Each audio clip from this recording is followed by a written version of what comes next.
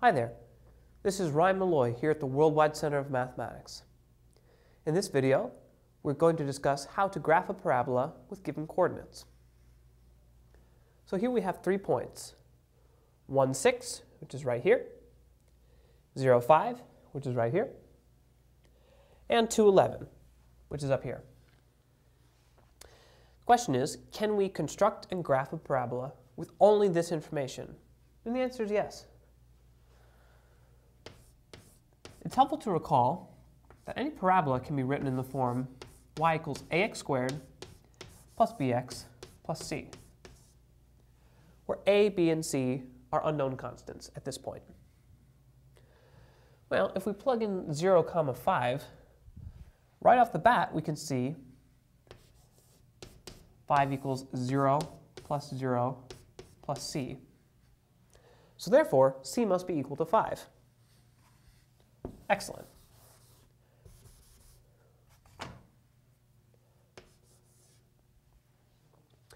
So let's do the same for these two points and see what information that tells us. When we plug in 1 comma 6, we get that 6 is equal to a times 1 plus b times 1 plus 5, which we can rewrite we combine like terms, we get 1 equals a plus b. Well, this is not enough information to uniquely determine these coefficients. We could have a is 1 and b is 0, or a is 7 and b is negative 6. So we need more information. And we'll get that by plugging in our remaining point, 2, 11. That tells us that 11 is equal to a times 2 squared, so we get 4a, plus b times 2, 2b, plus 5. And again, we'll simplify this by subtracting 5 from both sides. And what we get is 6 equals 4a plus 2b. We can simplify this a little bit further by dividing by 2 on both sides of the equation. 3 equals 2a plus b. Now with these two equations, we have a system of equations of two unknowns, which we can use to uniquely determine those unknowns. So what we're going to do is take this equation and subtract it from this one. Minus 1 equals a plus b. And what does that give us? 3 minus 1 is 2. 2a minus a is a. And b minus b is 0. So right off the bat, we see that 2 is equal to a.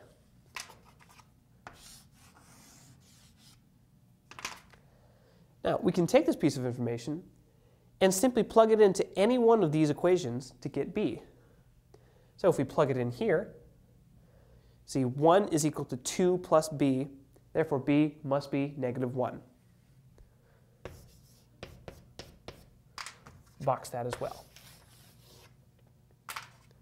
But now we have all the information we need to find the equation of our parabola. So we know that a is 2, and we know that b is negative 1. So from here we have y equals 2x squared minus x plus 5. So from here, we can simply take a few more x values, plug them into this equation that we've just derived, and then see what y values we get so we can complete our graph. Let's do x equals negative 1. Negative 1 squared is 1, so we get 2. Minus negative 1 is 3, plus 5 is 8.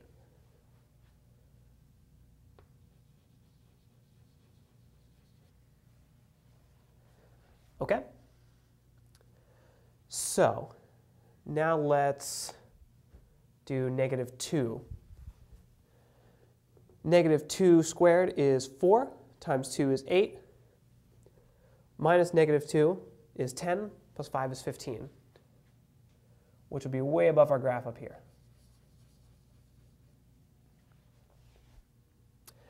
So Lastly, why don't we find the vertex of our parabola, which is given by negative b over 2a, two quantities that we know.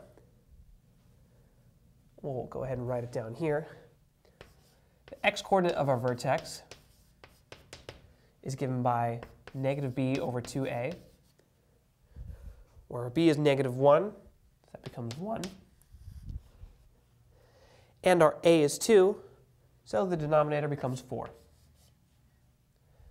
So the x-coordinate of our vertex is at 1 fourth. And if we plug that back in to here, we'll see what the y-coordinate is. 2 times 1 fourth squared minus 1 fourth plus 5. 1 fourth squared is 1 16th times 2 is 1 eighth. We'll rewrite 1 fourth as 2 eighths to get a common denominator. And then 5 becomes 40 eighths. And then we can simply combine all these like terms. 1 plus 40 is 41, minus 2 is equal to 39 eighths,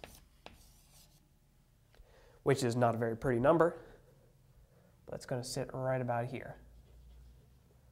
We can go ahead and connect all of our points with the smooth curve.